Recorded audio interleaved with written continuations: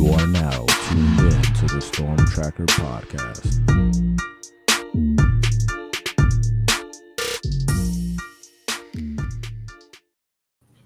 All right, it's the Storm Tracker podcast. Marcus Benjamin here with Frank Tucker representing the crib, South Florida.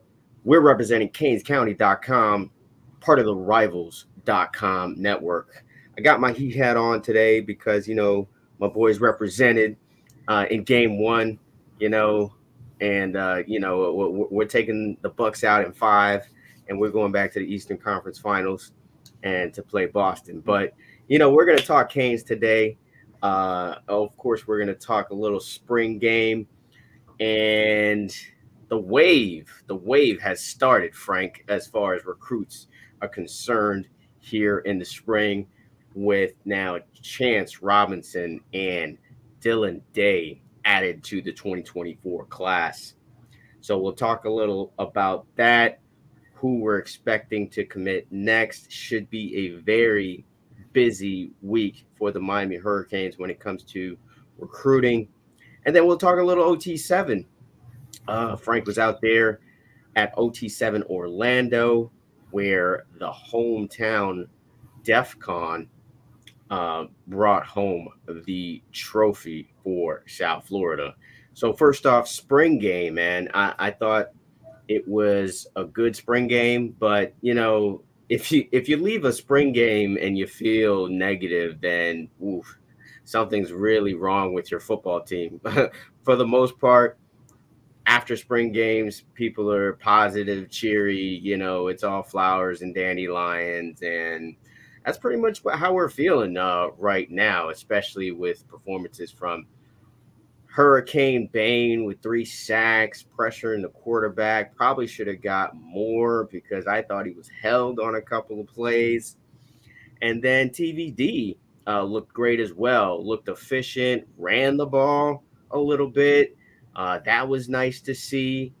And then uh, Emory Williams, uh, was kind of a standout for me. And then also Ray Ray Joseph, man, uh, this guy that's you know gets up on the jug machine at 5 a.m.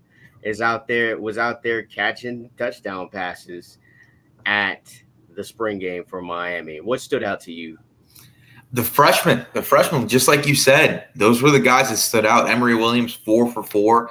He looked like he was able to read a defense uh, better than most freshman quarterbacks that really have no expectations coming in. Remember, he was a three-star passer that Miami took is the second guy in this in that 2023 yeah. class. So he I, I loved what I saw from him. I think it's more of a conversation for that second quarterback spot on on this depth chart than people like to believe.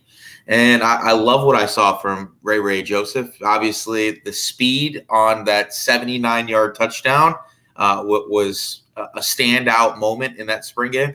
But what I really love to see was the jet sweep type plays that they're starting to utilize him on. I mean, we go back last year, we talk about it time and time again. Romello Brinson was never a guy that was a jet sweep type guy. And that's what Josh Gattis was using him as. And finally, we have an offensive coordinator that knows what his personnel's strengths are. So it seems that we're going to be utilizing guys in positions that we know they can succeed. We're not trying to put a round peg in a square hole. And it looks like Ray Ray Joseph, at minimum, is going to be an explosive gadget player for this offense this season, which is something we haven't really had in a, in a little while. Uh. You look back, it hasn't been vertical threats. Rashard Smith turned into a underneath possession guy. Restrepo, love him to death, but he'll get you those 25 yard plays like he did in the spring game a couple of times. But again, he's not your 50, 60, 70 yard touchdown walking around every play. So I, I think Ray Ray is an absolute, absolute necessity in this offense now for just the speed that he brings to the table. And then can you say enough good things about Rueben Bain? Three sacks. Bain, baby. Th- three sacks, just eh, completely dominated. Didn't matter if he was going against starting group, backups. It, it really didn't matter. We've seen that from him throughout spring. What we've heard during team and scrimmages is also the same thing. He, he's just been a dominant player, whether that's at the four eye spot or traditional defensive end. Uh, I think he's going to have a Greg Rousseau type freshman impact. Do you remember what Greg Rousseau did even coming off the bench? It was like eight, nine sacks in a row. Like it, it was it was a, an incredible run. I think it's going to be like that for Rueben Bain in his first year in Miami. And a guy that nobody's really talking about, and it's kind of surprising, is Francis Mauigoa. He looked good at that right tackle spot because he's an offensive lineman. That's why. Yeah, I know, I know, but it with the lack of offensive line talent Miami has had over the years, right? We have a potential future first round draft pick. I said it, potential future first round draft pick, manning the right tackle spot from day one. And, and I think that he looked really good. I think he looked better than Jalen Rivers, to be honest, uh, who I think struggled at that left tackle spot. So to see Francis really step up and, and, and do well in that first college atmosphere, that college game for him was uh, was a really good thing to see. Yeah, absolutely. Uh, I think the offense just overall was just impressive. I, I really like the Shannon Dawson offense. I like the jet sweeps basically to start off the game with Restrepo that went for about 25 yards. We saw it again with Nathaniel Joseph. And um, I'm just really excited of uh, just with the creativity of the offense that we saw.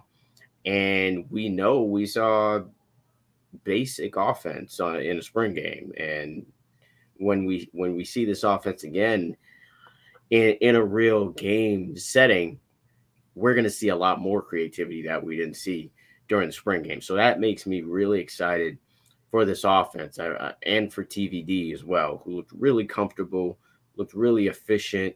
I mean, he locked in on some receivers on a couple of plays, um, but I think he'll be able to work those kinks out uh, through fall camp and through the season.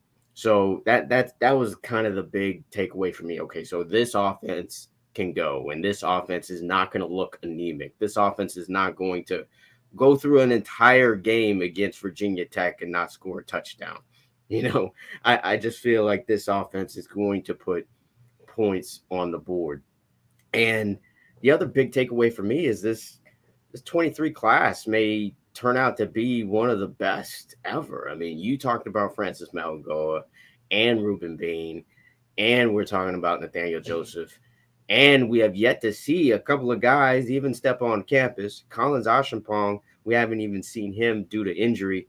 So there is more from this class that we will potentially see with players like Damari Brown, with play, players like Mark Fletcher, Chris Johnson Jr., um, Malik Bryant, who wasn't uh, dressed uh, for the game. I think this this class uh, is really kind of setting the tone for the future, and Cristobal is definitely, you know, putting his stamp or or his brand on on on this team and this program with this 23 class. And you know, yeah, you you mentioned Hurricane Bain, and I've said this before privately to other people, but um this is going to be a hot take, Frank. I hope you're ready for this one. but uh, I think this guy can be as good as Aaron Donald. That's how good I think he can be, especially from a size perspective. They're about the same size. The the the variety of moves that Aaron Donald gives you is the variety of moves that Rueben Bain gives you, and he's just a freshman not even really a freshman. He's really still a senior in high school right now, to be honest. And once he goes through his freshman year and sophomore year, I think he's just only going to get better. He's just, he's being schooled by Jason Taylor, one of the best to ever do it. I mean, when I told a couple people that, they're like, what, really? But I'm still standing on that, especially after those three sacks that we saw in the spring game. Yeah, uh, listen, yeah, I, you know I love Rueben, right? I mean that's that's my guy. Um, you know, I, I, we've been covering him since he was, you know, a baby in high school, right? So yeah. we know we know Rueben pretty well, and I love him. That's a that's a crazy comp. It's a crazy comp. Like just because we're talking about potentially the greatest defensive lineman of all time, right? Yeah. But I, I don't think you're you're being blasphemous, right? I think obviously it's very early, but I do think that there are some similarities to him. Uh, maybe like Calijah Kancey is another good comparison. Um, even though he plays more of a defensive tackle type role, he can have like a Will Anderson type career, maybe. You know, Will Anderson's not the biggest, not the fastest, not the strongest. It's part of the reason why he's not the number one, not really in the consideration for a number one pick, but just knows how to get to the quarterback. And that's really what Rueben Bain does really well is just get to the quarterback, do things right. Uh, he's with most freshman defensive linemen, you don't really see like counter moves. You don't really see that understanding of footwork, hand placement, things like that. They're just trying to just get to the quarterback. Rueben's got an understanding of pass rush, and a lot of that goes into the work that he has routinely put in, whether that was with Coach Jamal Sheffield at Miami Central, uh, you know, before and after practice, or with his brother Reggie Bain uh, currently at the University of Miami, where you see them constantly working after practice together. He's an offensive line coach, and he's teaching him what an offensive lineman would be doing to stop what his initial move was and and kind of going through those counters. So I think that Rueben Bain, like I said, is going to have a huge freshman year. I think you know this kid has 80 sacks since he was a freshman in high school. 80 sacks, including that game last night. That is a ridiculous amount, especially with the fact that his sophomore year he only played like six games and he still had like 13 sacks that season. So it, the, the the production is there, the pedigree is there with Division One bloodline. We know he's a hard worker. We're never going to get lesser of Rueben Bain than than we should because we know he's always going to be prepared. Um, listen, to get him in this in this class was the equivalent of getting uh, Cam Kinchens and James Williams in 2020. I think two yeah generational type talent type players, right? That were looking elsewhere and then it ended up deciding to stay home late in the process. So I love that. Another guy that we haven't talked about in that freshman class that really looked good and stepped up due to injury was Riley Williams. You don't really see the freshman tight ends have those moments, especially in a spring game. And early enrollee freshman tight end have those moments in a spring game. And he looked good catching the football. I know it wasn't crazy explosive plays, but he was doing some nice things, running drag routes, getting open, catching the ball, contested catch opportunities too. Uh, he's a good player, man. He's a good player. He's gonna have to add some size. We know he's gonna have to hit the weight room this summer and, and really add some mass uh, to re- to help in that blocking scheme. Uh, other than just being a big receiver, but I, I think that if Elijah Arroyo does get nicked up again, which we've seen happen, or we see Jaleel Skinner, uh, you know, kind of get nicked up. He had a nice catch in that game. Uh, I think it was only like nine yards, right? But overall, like if he doesn't step up, Riley Skinner is a capable second tight end option yeah. on the team. I, am excited to see from him, you know, the future. I, I, am not expecting 400, 500 yards this year. Don't say this isn't Brevin Jordan 2.0 right now. But I think he's a guy that can be that next really good tight end at the University of Miami. He can have a better career than a Will Mallory. And I think that he could do what Elijah Arroyo is expected to do in this offense as soon as this season. Yeah, absolutely, man. Uh, I was really impressed with Riley Williams as well.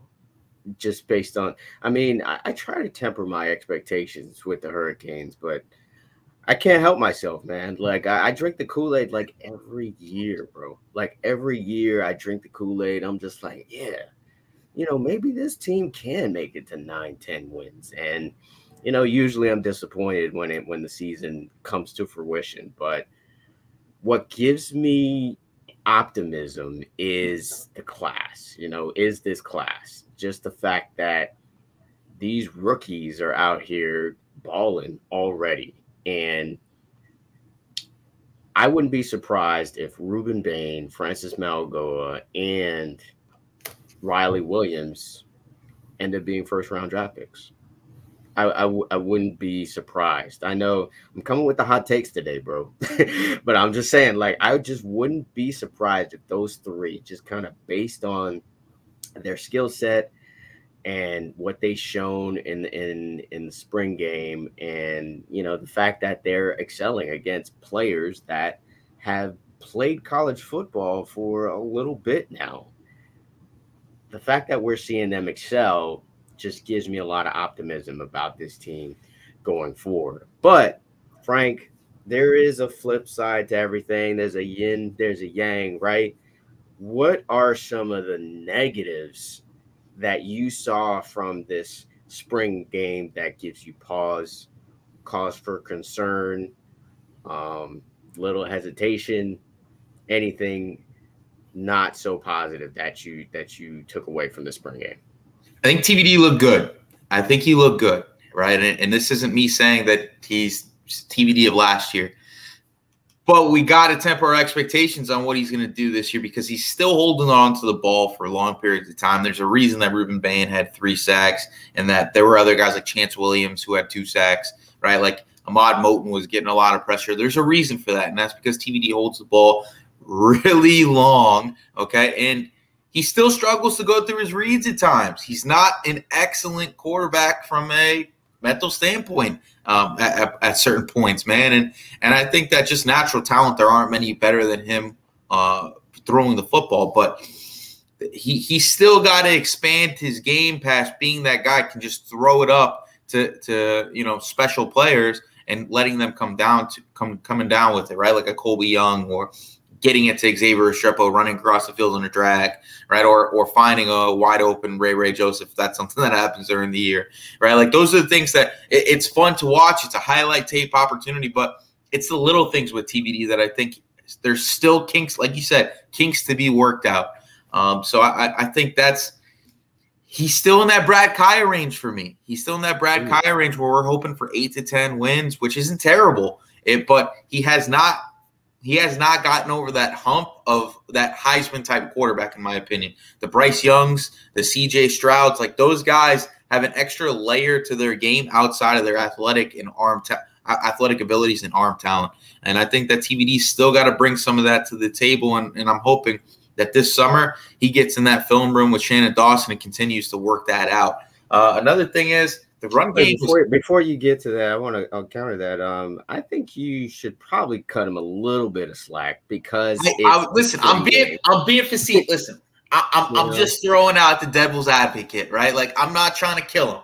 I'm not trying to kill him, but I'm also being the guy that like we've seen this in the past, right? Where we've had some hope in the spring game, right, and it turns into a seven win season, right? Yeah. So I, I just want to say like there were still some things that it wasn't perfect it wasn't perfect. I, that's why yeah, I, I started it out by saying it was a really good performance by TVD. I think he looked good. I think he looked comfortable. I think he looked confident. They were throwing it downfield more often than they were last season. Trusting him to be able to make those throws, those contested catch throws, uh, like the they were utilizing the fades in the red zone, which is something I think TV just likes to do. I think he likes to utilize his guys, his guys on the outside. We saw Jacolby, we saw Jacolby George make that really nice catch. Uh, we saw yeah. Colbie Young almost come down on one uh, on uh, on Davonte Brown on the left side of the of the field, but uh, there, there, were still some things that he needs to work out. So, you know, th- there were some interceptions opportunities that were missed, right? Like, yeah, I mean, I think that's the thing for me. I, I think that there was a couple of balls that could have been interceptions uh, for for TVD, and I think TVD was being safe for the most part, but those moments where they were almost interceptions were those moments where he just locks in on one receiver and he looks, he looks, he looks, and then he throws and he throws late sometimes. So, you know, to your point, yeah, he he's holding the ball a little bit too long. But I, I think, and then with the sacks, I think he was just playing it safe. I think he was like, okay, well, I don't see what I want. I didn't see my second read quick enough. So I'm just going to hold this for a sack. You know, this is a spring game, and I don't want to look bad out here in the spring game. And interceptions kill your confidence. Let's let, let's be honest. And you don't want to leave a spring game with three picks or something like that. So I, I think he was playing it safe more so than not playing well. And he's and listen, I didn't. I'm not saying he didn't play well. And to his credit, he's only been in this offense for like two months. Right, that too. So that's part of it too, right? So there's still not a full understanding or scope of the offense, which I think is going to get better over time. But we've had TVD in the program for a little bit now. We know what he brings to the table. We know what his weaknesses are. We've seen him at his high points. We've seen It's him at a third at system, though. It's third, third system. third system, and and we've seen that crater guys like Jacory Harris in the past, right? Where we've seen highs, right? Heisman expectations to really lows. So I'm not saying he's Jacory Harris. I'm just saying, right, that there are. Put some respect on Corey Harris's name, man. Hey, I'm not. I'm again. No disrespect here. I hey, I'm Switzerland. All right. I'm just being devil's advocate, right? So, I, I just I think that there are definitely some things that need to improve for TVD and his ability to read the field and goes through his progressions a little bit better. The run game for me was a little worrisome.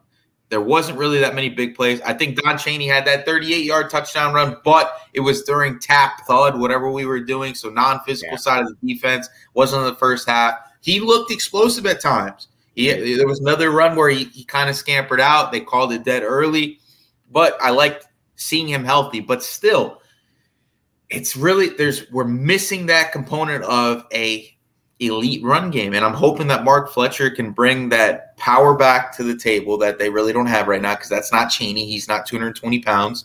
Uh, Parrish definitely isn't that guy. We don't really want to be running him, you know, 20 times a game.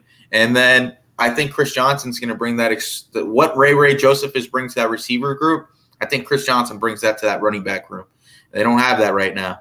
And I, I'm a little worried about the depth, right? Like I, I think the walk-on kids are are probably really tough, um, and you know we're high school stars and things of that nature. But if we're relying on walk-ons as the, like at the three deep, which obviously we won't with two running backs coming in, it's worrisome because last year we had Lucious Stanley come in a week before the season, it seemed, and Yeah. he was a guy that was actually getting some burn. We don't want to see that again. You, you you don't see Alabama. Your Alabama's fourth guy is a blue chipper.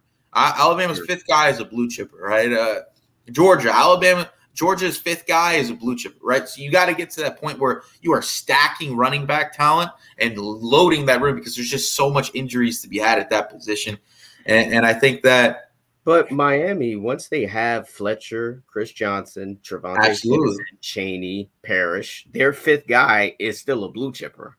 Yes, absolutely. But Citizen still injured. We don't. We saw him at the spring game. He's in a huge brace, not walking normal. There is. It is not an impending comeback for for TreVonte Citizen, and I think people need to know that he is not ready to play. He doesn't look like he's even close to getting onto a football field. And all the rumors that we're hearing that he's not going to be back healthy until the fall are looking to be true.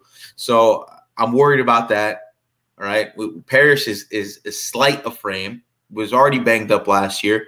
Hopefully that doesn't happen again because I think he's going to be a core piece of this offense. Don Chaney, extensive injury history dating back from high school.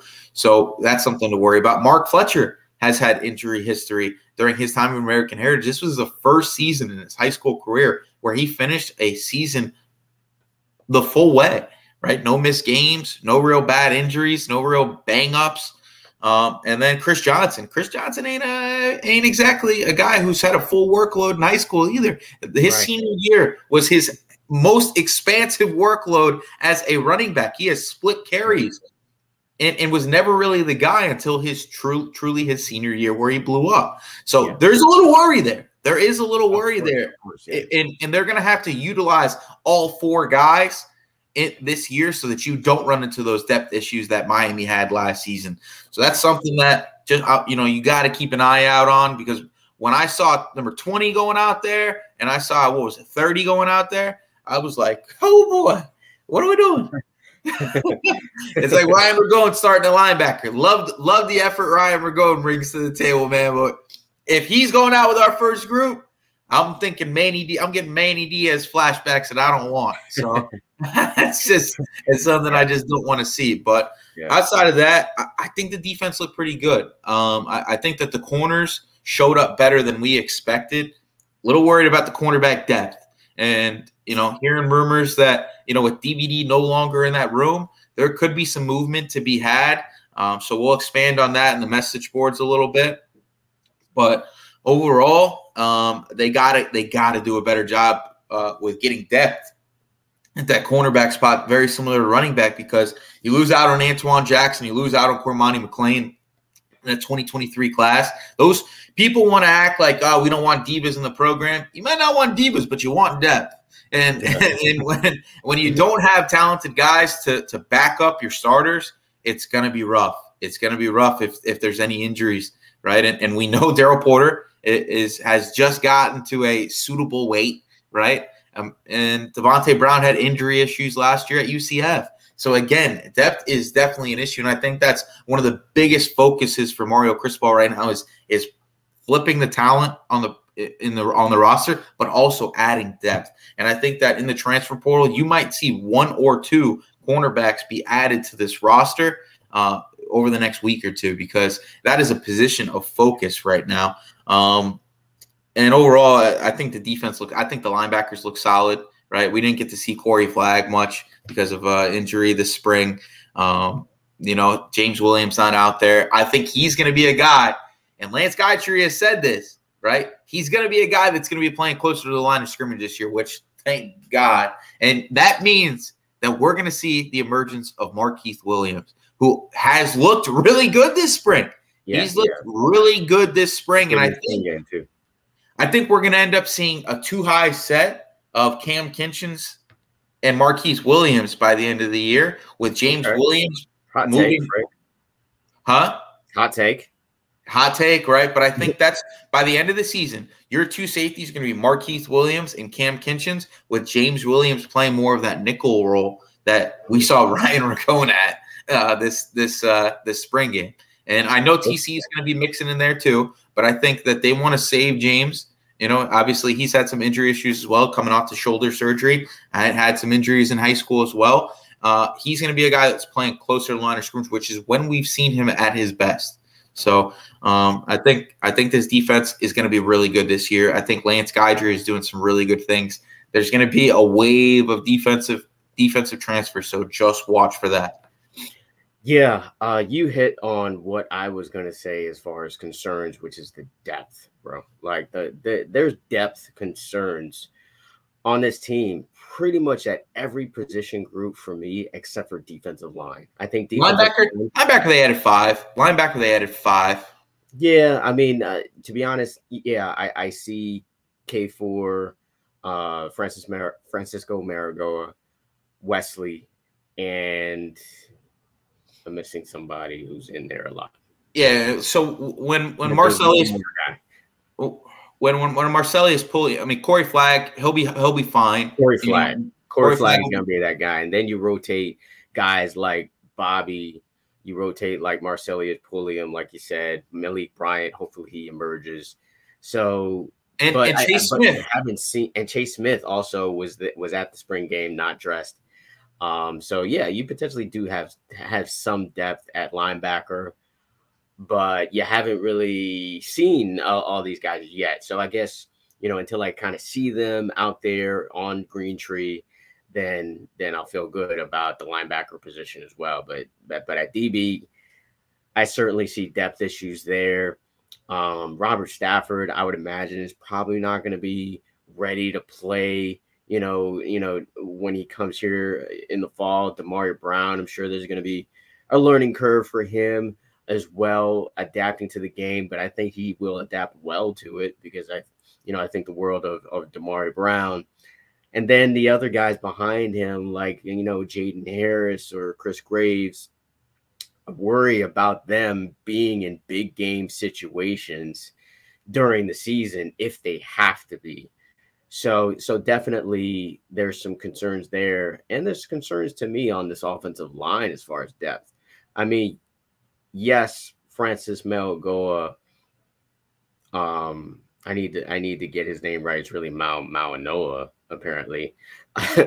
um, is great that he's he's able to you know showcase his talents, but nobody really wants to play a freshman on the offensive line.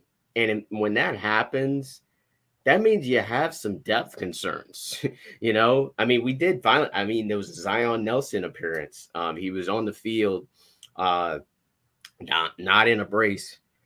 So that was that was positive to see. So hopefully you get him back for the fall. It seems like we will, based on the way he was walking around, the fact that he didn't have a brace on, you know, interacting with his teammates.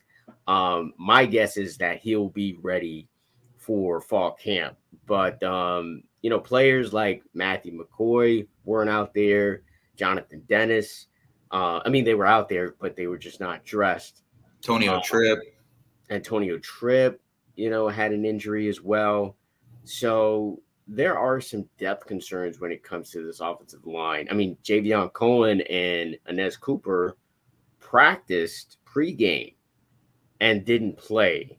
Um, and it, it was injury concerns, got a little nicked up. Um, according to Cristobal after the game, they just got a little nicked up and they didn't want to risk anything. So offensive line naturally is a position that usually gets injured a lot. So I'm still concerned about this offensive line going into um, you know, the season. Um, you already addressed the running back position. Uh, there's depth concerns there. A wide receiver, I actually feel pretty good about. You know, I, I think though that was like one of the bright spots from this spring game for sure. Uh, the the fact that Colbie Young looked pretty decent out there. Isaiah Horton made some nice catches. Uh, X was X as he always is. And then you saw Nathaniel Joseph, of course, with that explosive play and being utilized in different ways. Uh, Brashard Smith out there, and um, of course, Jacolby George looked really good to me. He looked really good, just really crisp uh, with his routes. Uh, made a really nice catch with the touchdown. That one screen play that went for, you know, about 30, 40 yards or something like that, that got called back, looked great. He just looks like he is ready to show what he's always shown, you know, to us in, in high school at Plantation. So, really excited for him as well. And there were some players that we didn't even see as far as receivers. Frank Ladson, we didn't see. Uh, Michael Redding, um, we didn't see. Not to say that we expect them to do big things in the season, but that's depth, you know, uh, just in case, you know, one of those top guys go down, you have guys who have experience, who have game experience that can kind of step in there. So, wide receiver, I actually feel pretty good as far as the depth is concerned. But overall, this team is just still it's it's just not deep enough, I think, to sustain a long season where the injury bug bit Miami pretty hard last season. And one place was the quarterback position. And if Tyler Van Dyke goes down, I think we got a controversy for for the backup quarterback. Um, I think that's really going to be a serious conversation going into fall uh, because one of the concerns or, or, negatives that I saw was Jacurri Brown. Jacurri Brown, let's be honest, let's call it what it is. He didn't look good. He did not look good in, in the spring game. I mean, Cristobal kind of downplayed it after the game, saying that you know he didn't have a good game, but he's he's been good all spring. But it's a concern that he didn't look good, but Emory Williams did. You know, and albeit uh, Emory Williams was playing against you know the threes and Jacurri Brown pray, playing against the twos, but still, uh, it, it just the optics the optics did not look good with Jacurri Brown. I don't know if he was nervous or not comfortable with the offense just yet. But I think that's going to be a real conversation going into spring of who this backup quarterback will be, just based on what we saw from Emory Williams and what we didn't see from Jacurri Brown. Yeah, I totally agree with you there. Now, one thing I want to say is that I think that they add at least one outside wide receiver from the transfer portal. We've seen them look at some junior college guys. We've seen them look at some transfer portal guys.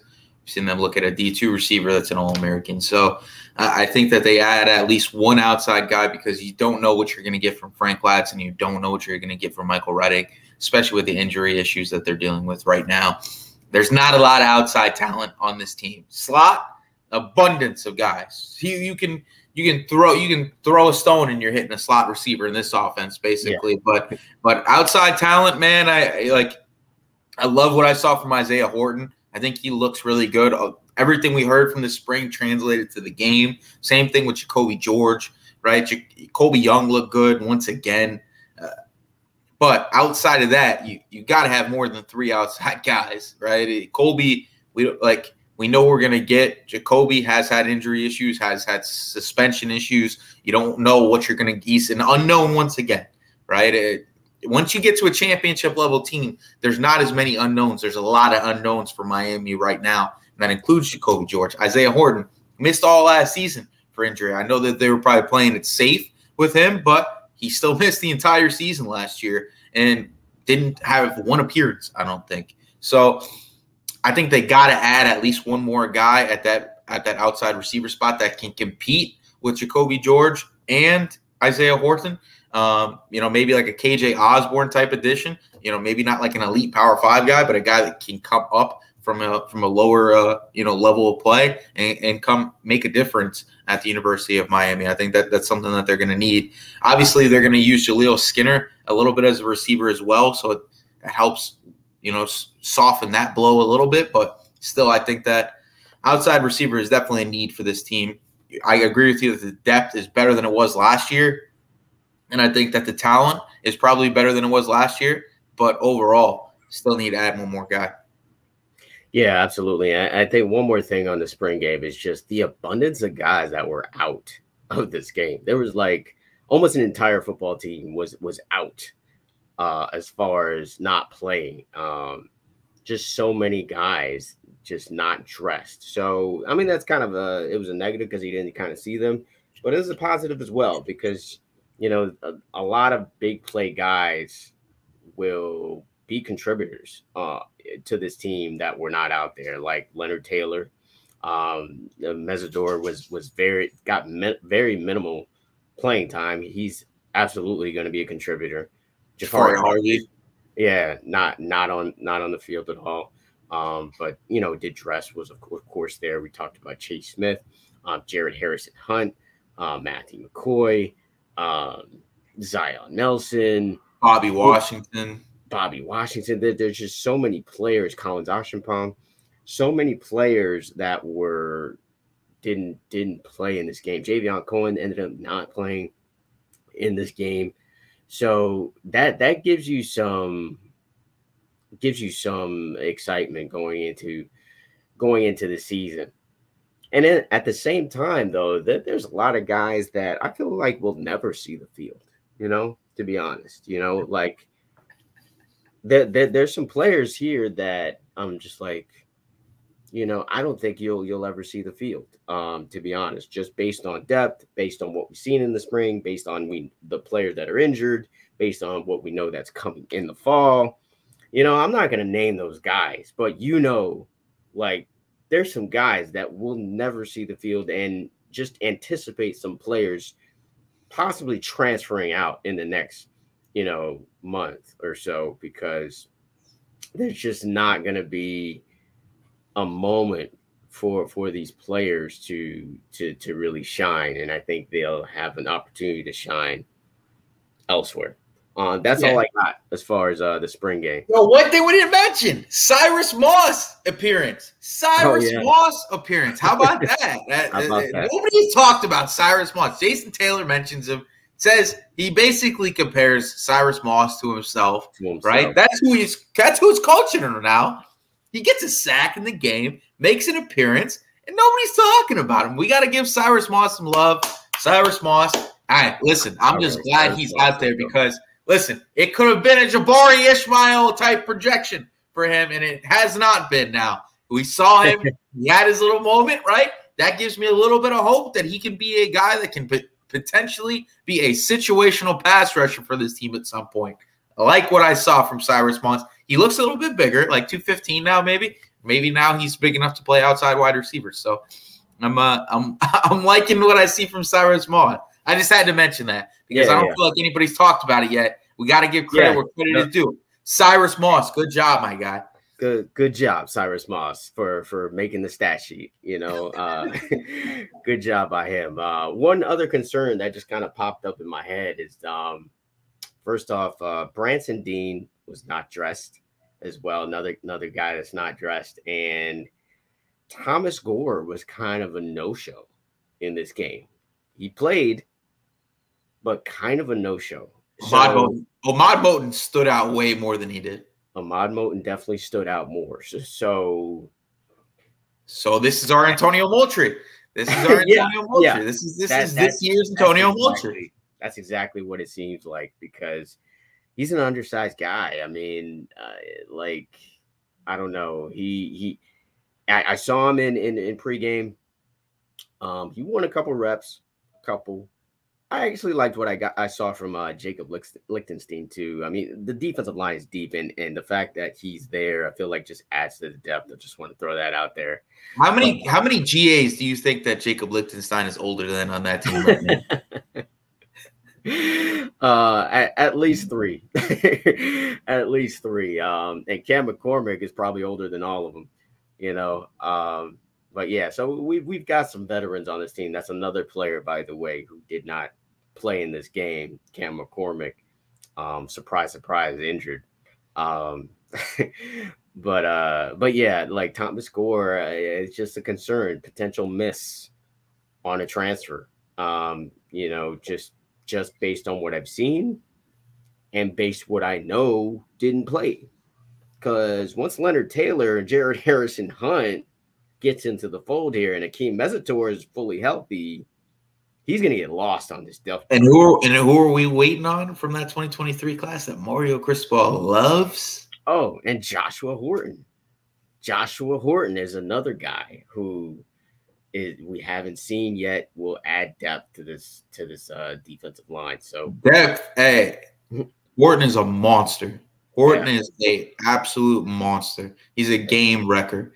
Eh, like this, that is a that is a guy who has who is very close to a Leonard Taylor type player.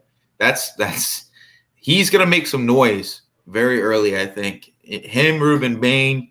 Uh, I think Ahmad Moten's gonna have a good year. He looked really good as a pass rusher. Uh, I, I, think that defensive line is going to be very, very good. Yeah, uh, you know, Akheem Mesidor not even out there. Right? Like we know what Akheem Mesidor can do. He's one of the top ten best defensive ends in college football. Yeah, he was he was one of the better defensive players in college football last year, and sure. and, and and to get him to come back, like he didn't even really have to come back. He could have gone to the NFL draft if he really wanted to, which yeah. is another credit to Mario Cristobal that he's keeping guys in the program that should be staying for another year to help build this program to what it needs to be. And and the depth concerns are something that Mario Cristobal has talked about since he's gotten here, right? It's it's a process in building this roster because he is take he took a roster that was like Butch Davis, like late 1990s type roster, like post post pro, probation type roster type thing. Sure. Like you're seeing the Mario Cristobal evaluations start to shine through really quickly. We saw it with that 2022 class and Wesley Bissainthe. We thought we were going to see it from TreVonte Citizen. There were some other guys that had their moments. Isaiah Horton's now another guy in that 2022 class is looking really good. You're getting a Nez Cooper, who's who's a perennial starter on this team. Now, this 2023 class, as soon as their spring game, early enrollees making an early, early impact Mario Cristobal evaluations are the bedrock of this team right now. I would say outside of like Tyler Van Dyke and Cam Kinchens and James Williams, those are pre Mario Cristobal additions. But really, there are so many good players that are coming from Mario Cristobal, Dennis Smith, all these guys that are that are doing talent acquisition, which is a part of college football now.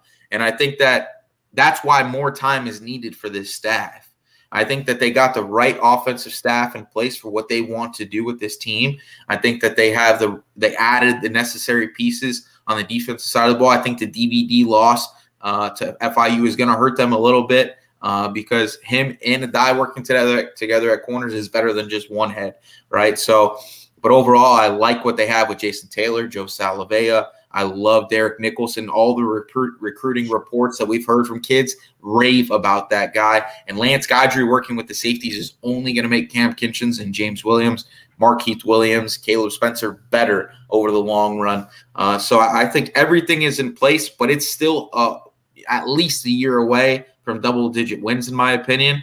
Uh, just because, like we've been saying, you got to fill out the back end of this roster the same way the Alabamas, the Georgias, the Ohio States do, where they recruit behind guys and then everybody comes on up. It's not reliance on the transfer portal. It's not a sustainable model. Like Florida State's doing it right now, but we're going to see how long that that works, right? We saw it with we saw it with uh, you know Mark Richt, you know bringing in guys. We saw it with you know uh, Manny Diaz really relying on the transfer portal.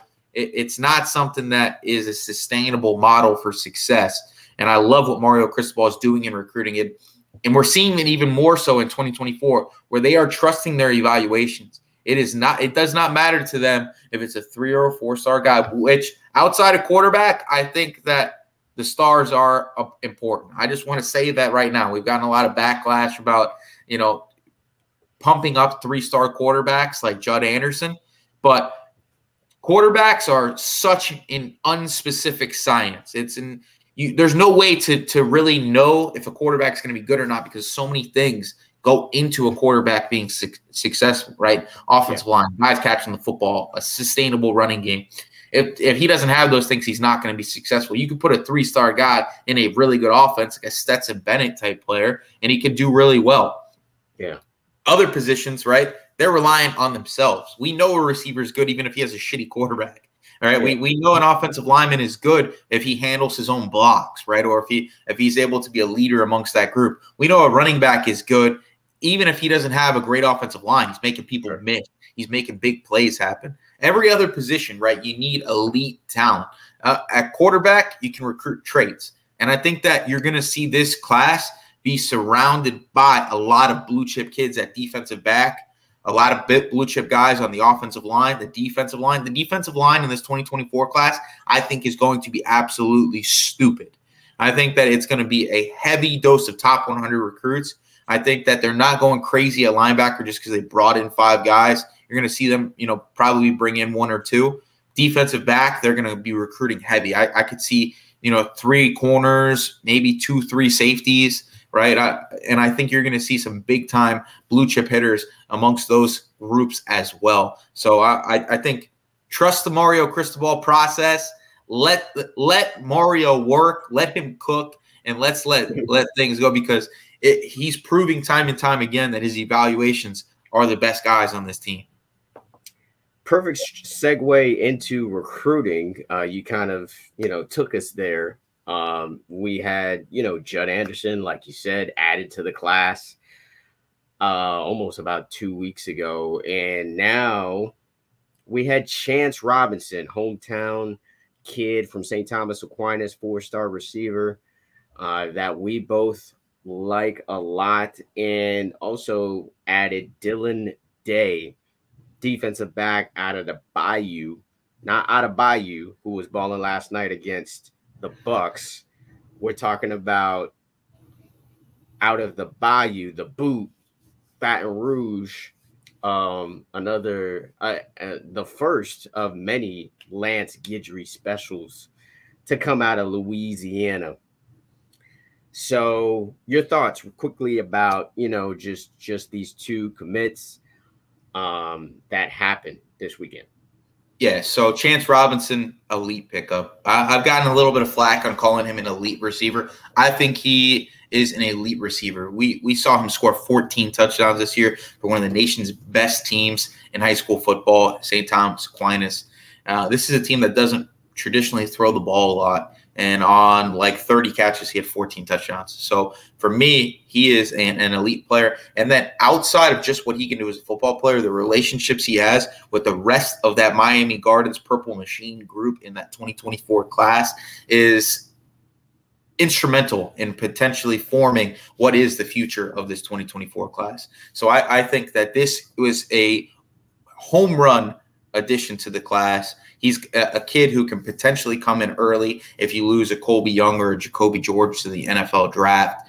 He is six foot one, 200 pounds almost. It looks like he is a rock solid outside receiver with really good hands, good ball skills. Uh, his ability to move in space for a bigger receiver is really good too. His understanding of of red zone route concepts and you know body control um, is is next level. So I think that he's one of those players that could be a early impact guy at the University of Miami, and the fact that Miami was able to get him to jump in so soon after Judd Anderson counteracts any popular opinion that grabbing a three-star quarterback is going to limit their ability to recruit receivers in this 2024 class because this just proves the opposite of that. And I think that everybody needs to trust the Judd Anderson evaluation of this staff. Everything we've heard was that he fits what they want, and we see yeah. that they did the same thing with Emory Williams. I still think they're going to go after a big time second quarterback in this class, a kid who's a four or five star prospect. But this guy is their number one guy on their board, probably, and there's reason for it. And I think that they're able to convince kids like Chance Robinson that that is the case, that he's the best guy for the class. And uh, home run, home run with that. And Dylan Day is is a very big unknown for us, right? There, there's not much uh, to be known. We know he got offered a little bit a little while ago, and when Lance Guidry got offered, he was part of that wave of Louisiana offers uh, that you know he was he was looking into. And uh, listen, he's going to fit a role in this defense. They're not just recruiting him aimlessly. He is a future nickel for this Miami Hurricanes defense, and he's got traits that once again Lance Guidry loves. Right, he the, that I think that nickel position is very similar to that quarterback position on offense where you can recruit traits and maybe not stars because you want a guy that can do certain things, maybe blitz off the edge, maybe be able to cover up somebody in the slot, maybe jump to the outside if needed, right? He he's listed at six foot 170 pounds, so he's got some decent size. Uh, I know people are going to complain about maybe the competition he's playing in Louisiana as a lower classification in that state, but Southern Lab has produced Division One prospects in the past. They've produced kids. Southern Lab is is is a talent beacon in Louisiana, and I'm gonna trust the guys that know that area much better than I do. I'm not from Louisiana, never claimed to to know it other than like the you know Tyrann Mathieu and, and guys like that. Uh, you know they were able to get Ed Reed out of Louisiana, so there's a pretty good track record there, right? So um, I think it's a good addition. Uh, you're going to need a lot of depth at this defensive, you know, at both defensive back spots, safety and corner. And if he's going to be a versatile guy that can fill both positions potentially, then good get. Yeah, I looked at his tape and I just thought first, like physical. This guy's physical, and he is the physical corner that you know that you kind of hope like to, to Corey Couch would be. You know, at, like as far as just aggressive and when he he he he he thuds you. He he puts you he puts you on the ground like pretty soundly. So that that was kind of the first thing for me when i was watching his tape. And he seems to be really um aware of of kind of what to do in certain situations. He knows when to kind of break on the ball keeps his eyes in in that backfield or on the quarterback or keeps his eyes on the quarterback's eyes and kind of where he's going with the football. So I kind of like that. Um, reached out to some guys in Louisiana to find to find out more about this kid because you know uh, this kid was is is under the radar. He's he's a quiet kid. He's not very vocal about uh, social media, kind of what he's doing or whatnot. His his visit kind of went under the radar. Uh, he visited a couple of weeks ago to Miami.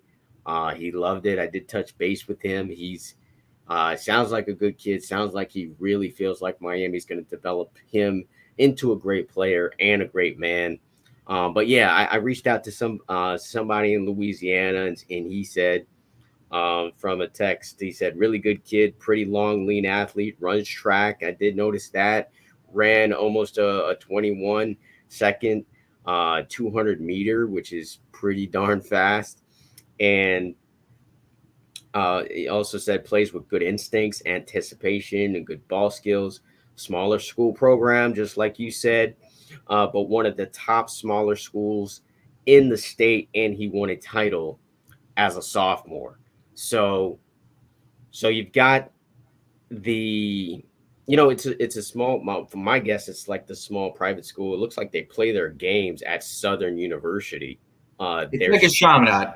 So it's it. So I'm not saying they're Chaminade, right? But I'm saying it's a comparable as far as the size, size of the school, structure. right? Still producing like a Champagnat or a Chaminade. Like traditionally, yeah. that's what we've seen in South Florida, right? As though two those two schools that have five, you know, anywhere ranging from 200 to 500 kids in the school, but still are able to produce top level talent. That's what Southern Lab does. Um, so, Yeah. listen, Dennis Smith, uh, the director of recruiting, and Lance Guidry are two Louisiana guys. They know this area well. They know enough. They have a number of contacts in that area to know what is going on. Lance Guidry just came from Tulane. I know he was at Marshall before that and didn't really spend much time at Tulane, but he knows the area.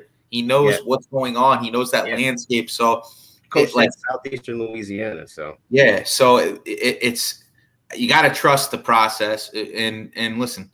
That nickel position is such a niche spot, right? That's that's a guy. That's a spot where it's really conformed to what the defense is asking. And time and time again, when you ask defense coordinators who's the most important player in your defense, a lot of times they say that nickel back and that nickel spot, which has to be the most versatile player on their team. You got to be able to play like a linebacker at times. You got to be able to play like a safety. You got to play like a corner. You got to blitz off the edge. You got to do so many different things. So if if they felt like he had a versatile enough game to be able to jump into this position, which I don't think that they feel like they have the guy that fits that mold perfectly right now.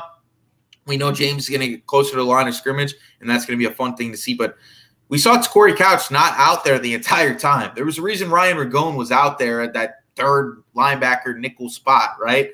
It's because TC can't tackle. It, it's just what it is. Like it's still weird to me that the fact that Ryan Ragone was out there.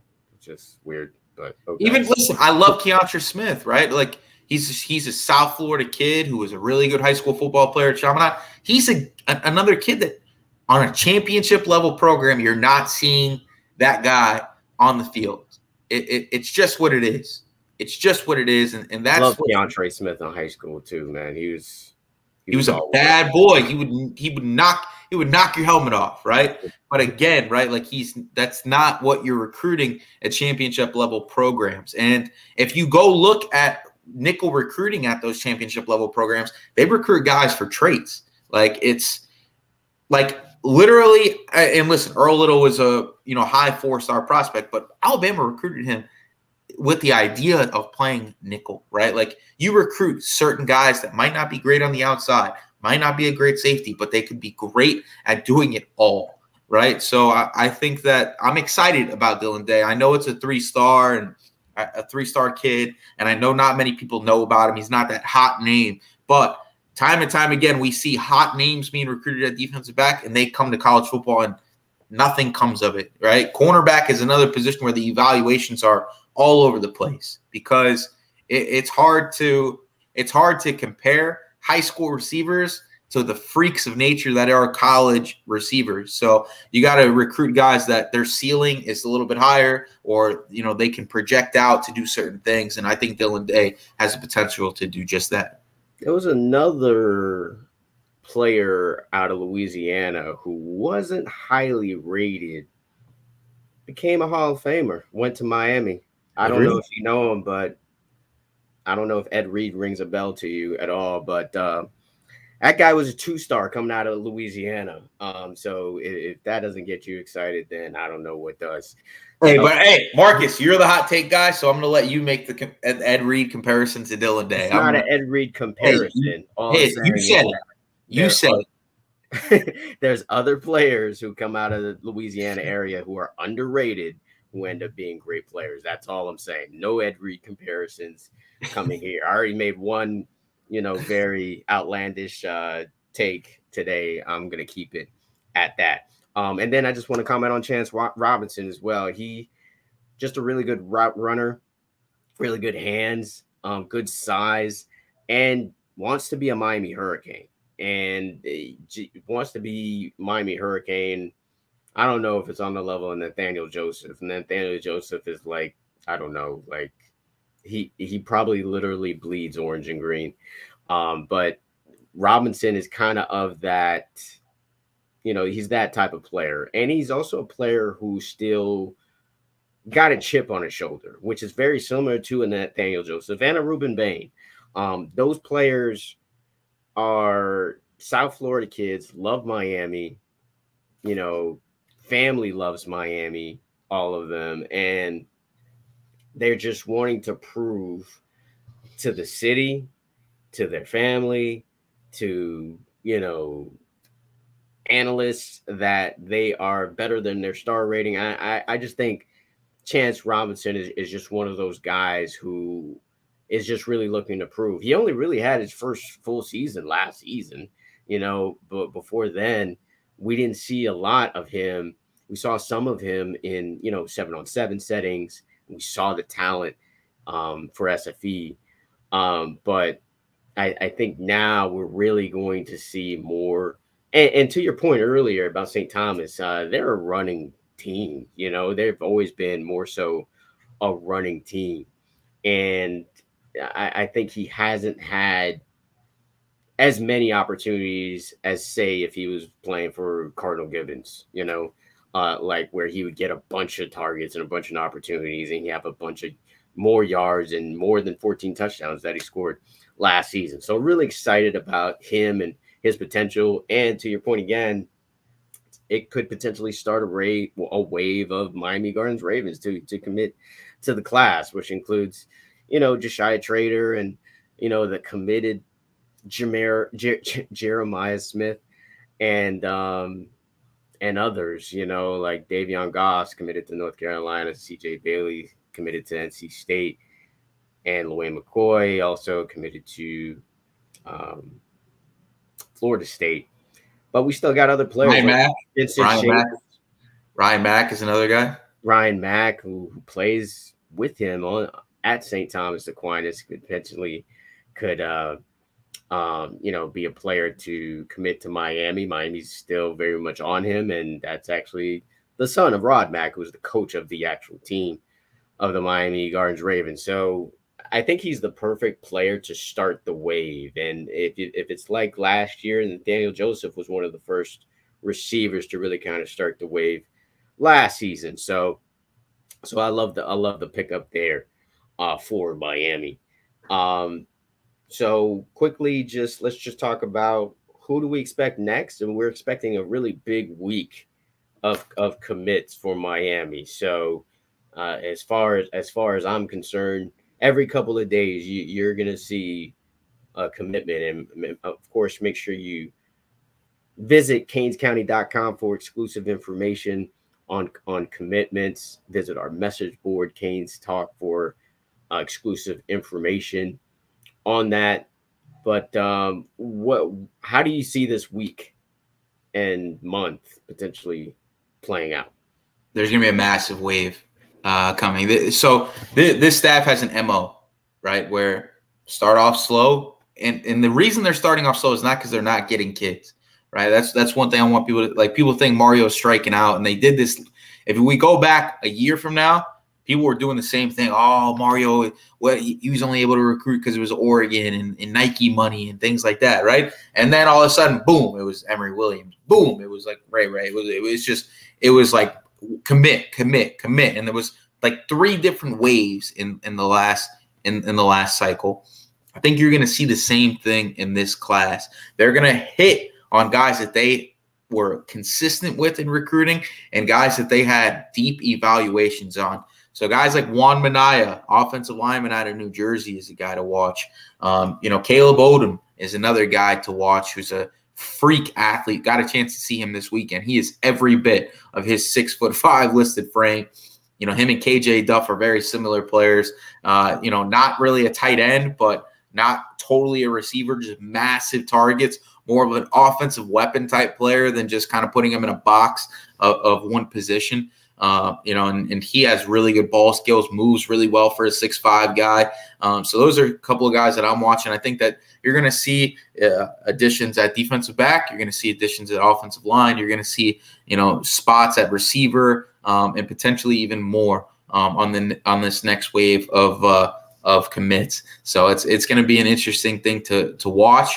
Um, I think that this class is going to really start to pick up, and I think you're going to start to see some some closer guys to that five star range starting to to make some noise to Miami. Um, you know, we got we got a guy who's a high four star, um, you know, prospect that we're going to be reporting on, um, you know, soon today. Um, okay. You know, so, some information in the message board, so look out for that. Um, sure. That we that we got uh, that we like to go to Miami um, Sure. in this class, and I think that listen, there's a lot of momentum, Some California love.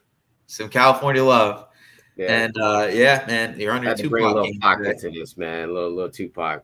a little Tupac, uh, put a know? little '90s in you, huh? But Yeah, um, I listen. I, I think that this staff is doing everything right, and the thing that I really love what they're doing is they're going after guys that want to be Hurricanes, and it's great to go after four and five star prospects. But if you bring in those guys and they're not the right culture fit and what is a program transition still, then things are going to fail, right? It- we look at it from the scope of, of the type of uh, coaches that they brought in uh, last year on the offensive side of the ball. It was supposed to be an all star staff. Right, it was supposed to be guys that are award winners, guys that uh, you know are, are are the best at their position, some of the highest paid player, highest paid coaches um, at, in around the country, and still it was a failure because it, it wasn't the best fit. So uh, you know the the evaluations being done by Mario Cristobal and Dennis Smith and Alex Mirabal and Lance Guidry and Shannon Dawson, uh, I think are going to fit what they want to do, which is listen. It, this game is about longevity, and you see that with teams like Georgia. You see that with teams like Alabama. You see it with teams like Ohio State, where you're not necessarily recruiting for right now. You're recruiting for what are we doing in the future, right? Like relationships, like the Chance Rob. Like people are going to look at the Chance Robinson, like, oh, we got a four star receiver. Oh man, you got a St. Thomas top prospect, right? You got a kid who's connected to the Miami Gardens Ravens program that routinely puts out guys and that like has produced guys like Nigel Kelly, right? And, it has produced guys like Jeremiah Smith and Josiah Trader. So it, it- being able to get guys from those programs to create pipelines, uh, I think, are the most important thing, and that's what this staff is doing. They're hitting regional areas, right? Like they're still going after that Northeast area with New Jersey kids, Connecticut kids, which I absolutely love because there's a lot of talent in that area. They're hitting West Coast really hard. Where like Dylan Williams, who's one of the top five linebackers in the country, wouldn't have considered Miami under Manny Diaz. Like people got to understand that, like, oh, Miami's striking out linebacker. No, you're not. They grabbed four, four guys that are elite players, and then Marcellus Pulliam, who's a three star, who might be the best of the bunch, right? Yeah. So it's the fact that this staff is doing things the right way. They're recruiting hard. Uh, you know, even though you don't have a ton of recruits right now, I'd rather have a ton of recruits in these ton of commits in December than April. And and that's something that these fans got to understand. It's it, it- it's not about the beginning of the cycle. It's all about the end. And this team Yeah. is playing the long game, and I love what I'm seeing. I think the fact that you get Chance Robinson for St. Thomas Aquinas is is really important because I I was trying to while you were talking, I was trying to think about who was the last player from St. Thomas Aquinas that committed Mike Harley. to Miami. That's right, Mike Harley. Okay, Mike Harley, That's right. Um, And that was a minute ago. that was a right, minute. ago. right. And I guess you could kind of say, I guess Xavier Restrepo spent most of his career at St. Thomas Aquinas, um, although he graduated from Deerfield. So I think that kind of counts. Well, he was only there one year. So he was at Monarch freshman and sophomore year, transferred to St. That's Thomas, right. He was on Monarch. transferred to Deerfield. He was on Monarch. I forgot about that. It felt like he was at St. Thomas longer, but but yeah. So so yeah. I mean, the fact that you got got a guy from St. Thomas since Mike Harley. Mike Harley seems like ages ago. Um, is is is a very good thing because obviously Miami's got a pipeline in in I would say you know three or four you could say major schools in the state of Florida, uh, being IMG, Central, Chaminade. I consider one as well, and um, now St. Thomas.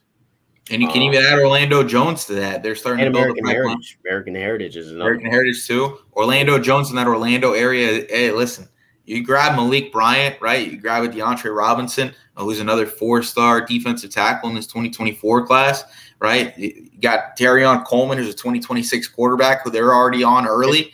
Yeah, it's potential. It's potential. Potential. We'll see. And I, listen, I don't think DeAndre Robinson ends up with Miami, yeah, but but um, But they're pushing. But they're pushing. You know what I'm saying? And and and he's kept them among the top schools, and there's reason for that. Miami is building relationships throughout the state. They're building relationships with top programs around the country. We see Lance Guidry getting into Louisiana now. Mario with his relationships on the West Coast from his time at Oregon, right? We have South Florida coaches here. Stephen Fields moves into more of a recruiting role and his relationships at Miami Northwestern, Miami Central, all those spots. You got Roland Smith in the program, right? I love what this staff is doing. They're checking boxes. They're checking boxes. They're not. I feel like in the past, Miami since since the early 2000s, right? We've more been chasing than we are being strategic, right? And and when we would get when Miami would get guys like Stacy Coley and, and and, and guys like that, it was more like we got him, we got him, we're good, we're good, we're we're good for right now, right? It was a it was a momentary success, not a long term play. And and I think that that's that the staff is just doing the right things, like I said. Yeah, yeah, definitely, definitely.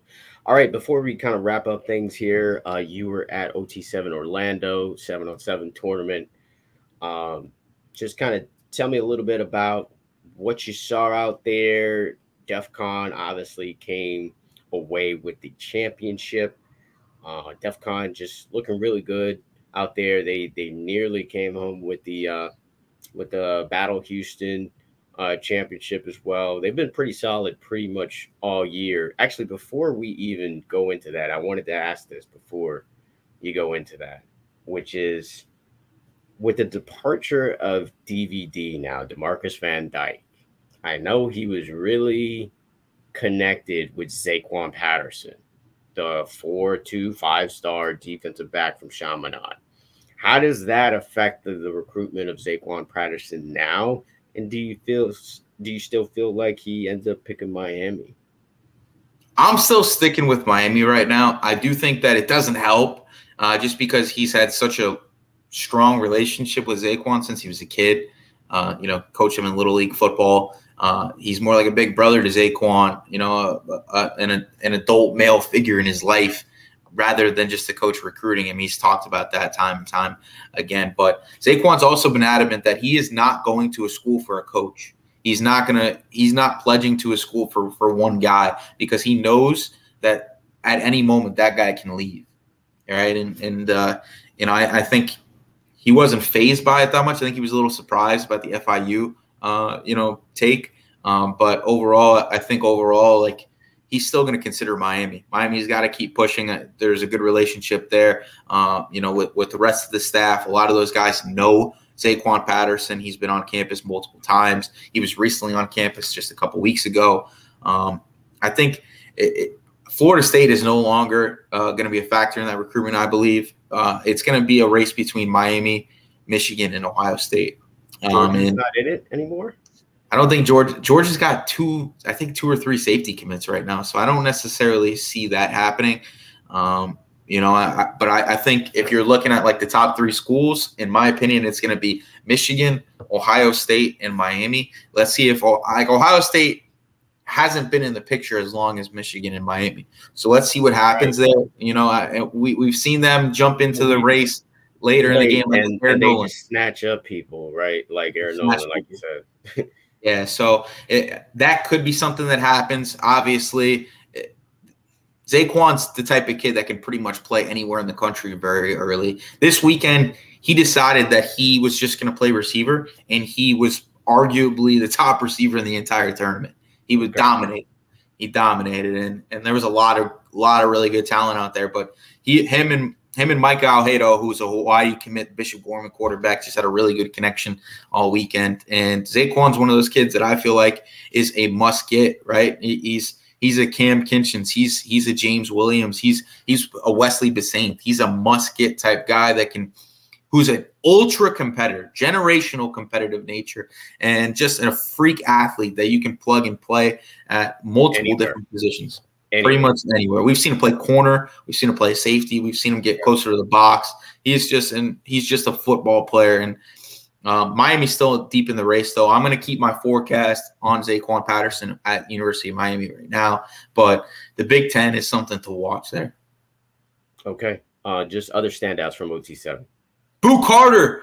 Boo Carter is a bad boy, and and I know he dropped the top five in December that didn't include Miami, but before that, he had Miami in his top 12. And getting a chance to speak to him, he did talk really well about the University of Miami, but not playing safety or receiver. He was talking about playing running back.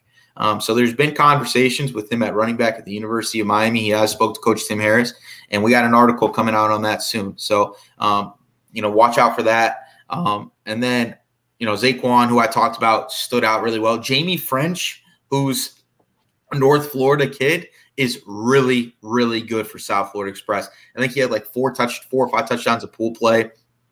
He's a, a legit 6'1, 6'2, filled out frame. Like from a year ago, he was a skinny kid. Now he is absolutely filled out. Lower body looks like a college receiver. Uh, 2025 kid uh, who's a high four star player.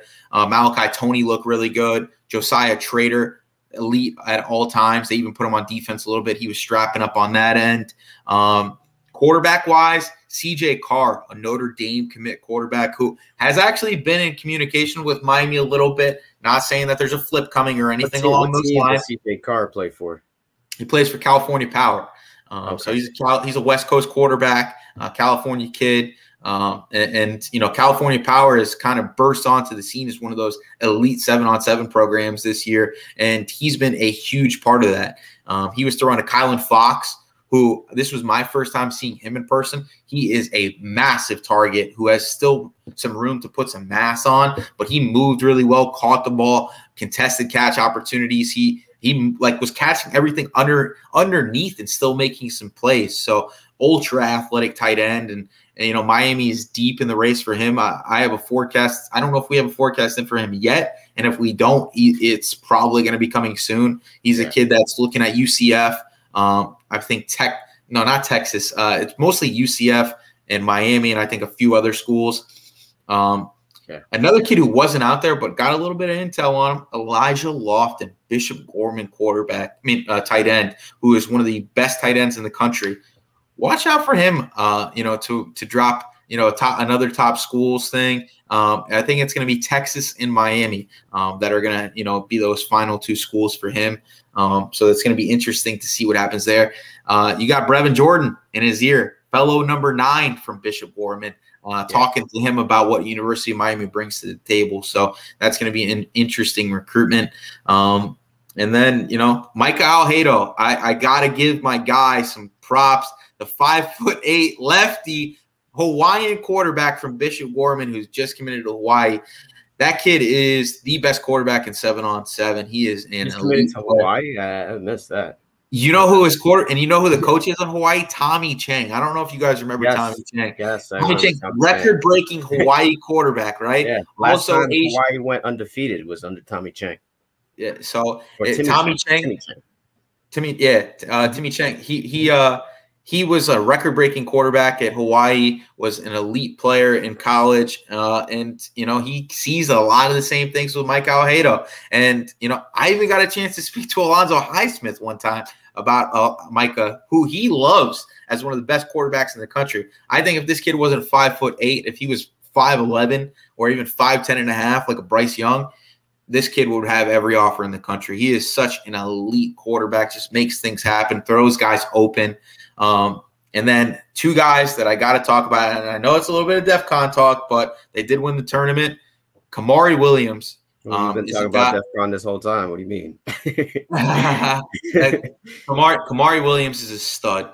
Kamari Williams is a four-star kid in the 2025 class who's six foot three, six foot four. He made the most incredible grab of the seven on seven season with sunglasses on, and he absolutely snatched it out of a defensive back's hands in the back of the end zone. You can go on OT7 Instagram and check that out. It's it was an elite play. But um, a couple other guys that I really liked, um, you know, where Bryce Underwood physically is everything you want in a quarterback. I think that he's got some room to grow as as a passer, but you saw some flashes of what he can really do. And I and I think he's going to be a guy that is going to continue to just get all the accolades. Unfortunately, Miami's not in the race for him right now, but he's just a guy that's like physic the most physically imposing quarterback I've seen in a long time, and that's saying a lot. Um, Jalen Hayward, Georgia commit, who yeah. safety, who Miami is still on. Yeah, he visited he Miami is, recently. He is so explosive and fast, makes things happen. He doesn't even mean to hit guys in seven on seven, but he's just moving so so fast that he just runs through people. Uh, you know, he has 10 six times in the 100 meter. So just a, a truly special athlete. And and I, I love the kid's energy, just constantly talking crap. Uh, he is getting in your face. He is he is an emotional kid in all the right ways. And, and I think he, he's a guy that Miami's got to continue to push for. Um, I don't know if there's a flip coming at all from Georgia. I think they pretty much got him locked in right now. But the fact that Miami was able to get him on campus was a positive development. Sure. Good stuff. Good stuff from Orlando. Uh, that's going to be it for the. Well, actually, no. Let's talk a little, just a little bit of baseball, just because we're going into basically baseball and recruiting and camp season and spring high school football season right now. That's basically what to look forward to uh, in, you know, just in, in sports in general and from canescounty.com. That's what you will see. And the Miami Hurricanes baseball team, I didn't see if the rankings came out uh, again, but they I'm pretty sure they're going to be back in the rankings again after winning the series against the 13th ranked uh, North Carolina team uh, this team's got some pop, right? It's got some power. They they can hit home runs with anybody. They lead the ACC in home runs, and I, I I, think they that that alone I think will be enough for them to host the regional. I think they have still have a very good chance of winning the coastal uh, division. Uh, but there's some other really good teams that Miami will probably not be able to overcome when it comes to the conference, like what we saw against them in against uh, Wake Forest, got swept. Virginia, they, that team is ridiculous. That Wake yeah. Forest team is ridiculous. They have yeah. elite play. They have elite players at every position. The pitching is gross. What? What? Yeah. How did that? How did the NCAA let that team get put together? I, yeah, I, was, I don't know. I have no idea. I, I mean, it's a lot of transfers. Yeah, yeah. They got it. They got a ton of transfers, a ton of future MLB guys. Wake Forest is just. A, I mean, the the conference itself is just loaded. When you got when you got teams like Boston College, Boston College, like in the top twenty five, only got nine losses. Like that that's a team nobody expects to be good in college baseball or any sport for that matter. Uh, so when you got a team like that that in the conference and you're you know teams like you know North Carolina and and and Virginia and Virginia Tech starting to come on now. Um, you know, we already talked about Wake Forest and Louisville's Louisville, good. Louisville's a good team. I mean, it, it's just a loaded conference, and my with that, I think Miami's going to be built for the postseason as long as they don't get one of these, you know, high-powered teams that are in the top, you know, eight. You know, I think there's a significant drop off, like with the top eight teams and everyone else. I think everyone else is Miami's in that everyone else group, and if this team really wants to go far and make it to Omaha, though, this pitching's got to get better, man. This pitching is not, it's not Omaha level. It's NCAA tournament level, but it's not Omaha level. And now I'm concerned with Karson Ligon because he hasn't started in the past couple of weekends. So now I need to. At first, I thought it was just a rest issue, but now he hasn't played again. I'm concerned that he is is hurt in some way. More on that this week. Uh, I'm definitely going to inquire about Karson Ligon and see what's going on there because he's their ace. You know, it, it it's not Gage Ziehl. It's not definitely not anybody else after that. Um, it, it's Karson Ligon. So they they if they want any chance of, of, making it to Omaha, he has to be healthy and has to be playing well uh, in May uh, and in the ACC tournament. So well, we'll we'll see what happens there. But you know, uh, as far as hitting is concerned, the this team can hit with anybody, man. Um, and then you got you got players that are kind of coming out of nowhere too, like Lorenzo Carrier hit hit hit a home run. Um, and you got players who who don't start, don't typically start every day that come in and hit home runs, like like Ian Farrow, um, Carlos Perez you know, I believe is still leading the team in home runs. And Blake Cyr, I can't say enough about the freshman. He's going to be a star. I mean, the fact that he's leading the team in RBIs and consistently, you know, is coming up with clutch hits. I mean, he had the the the game tying solo home run in game one of the North Carolina game. The kid is just legit, and you already know what you're going to get from Yo Yo Morales. Clearly, going to be a first round MLB draft pick.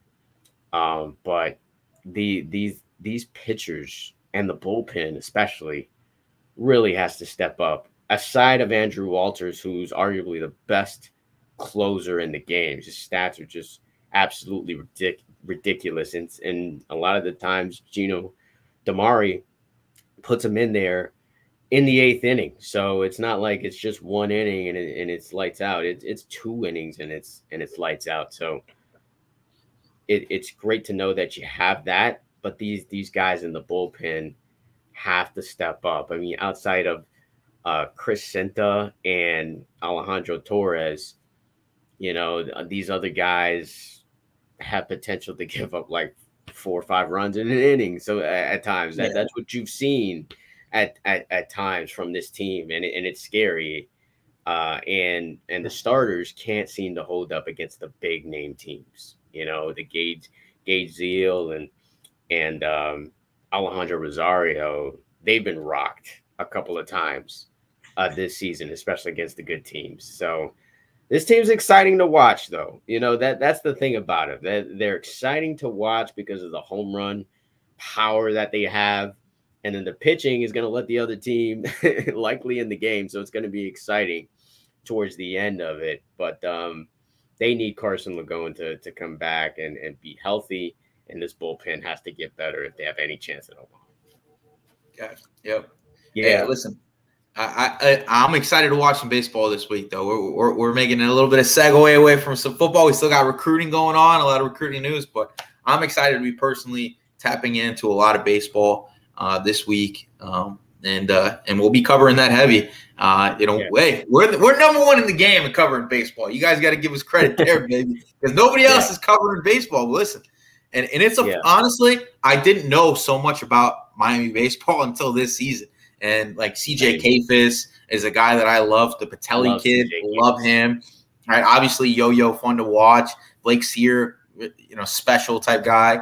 Um, but I, I'm I'm excited because listen, if this team can just keep hitting the way that they do, and even when they go up against the top teams, if they can just hold them to four or five runs, uh, this this offense has the the potential to be really good. And, and I'm excited this week to tap in a little bit even more so to that to the baseball side of this uh, this uh, job. Absolutely, uh, Bethune tomorrow night, and then Georgia Tech in a three-game series this weekend. But that's going to wrap it up for the Storm Tracker podcast. Once again, this is Marcus Benjamin and Frank Tucker. Uh, we give you tons of information on the website, canescounty.com. Subscribe for free. You see that scrolling at the bottom. Use the promo code Miami30. Um, also, follow us on all basically social media platforms Instagram, Twitter, YouTube. Subscribe to this YouTube channel. Lots of great videos, interviews from seven on sevens, press conferences, highlights from practices, and of course, this podcast but uh, that's going to wrap it up once again, and we'll catch you on the next episode.